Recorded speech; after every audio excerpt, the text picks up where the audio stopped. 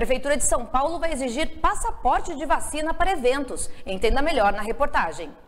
A ideia é que quem for participar de jogos de futebol, congressos e outros eventos na cidade de São Paulo apresente o comprovante de vacinação. O passaporte de imunização deve ser opcional para bares, restaurantes e comércio. O documento vai estar disponível num aplicativo que deve ser lançado até esta sexta-feira.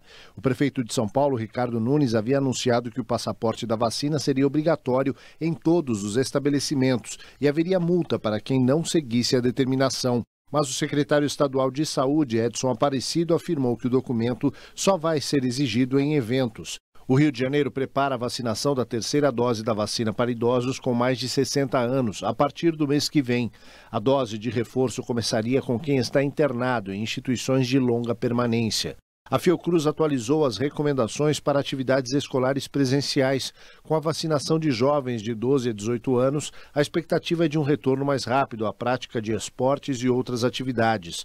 Mas a Fiocruz alerta para a manutenção dos cuidados sanitários e avalia que as escolas podem fechar se houver transmissão elevada ou aumento de casos. Os números do consórcio de veículos de imprensa mostram que 370 pessoas morreram nas últimas 24 horas por conta da Covid-19. A média móvel dos últimos sete dias se mantém abaixo de 800. O total de óbitos está próximo de 575 mil. Os casos registrados nas últimas 24 horas somam 15.300. A média móvel dos últimos sete dias está em 29.100. O total de casos passa dos 20 milhões e 500. Mais de 58,5% dos brasileiros tomaram a primeira dose da vacina. 26,42% estão totalmente imunizados.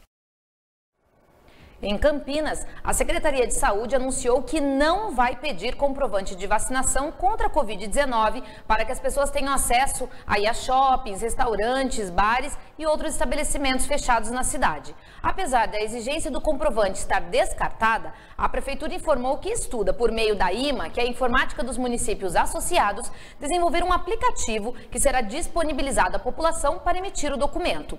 Neste momento, as pessoas que precisarem do comprovante de vacinação informação, podem acessar o Conect SUS do Ministério da Saúde ou o aplicativo do Poupa Tempo para ter o comprovante digital, ou ainda apresentar o comprovante da vacinação entregue nos postos da imunização.